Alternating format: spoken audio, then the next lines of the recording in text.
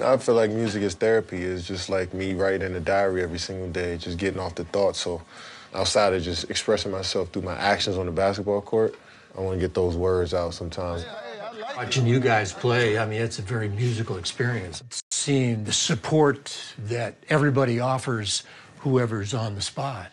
Music is very much like that, I Yeah. think, you know. Your power comes from whatever you want out of this life, whether it's fame, money, notoriety, credit, attention. It all comes from what you can do.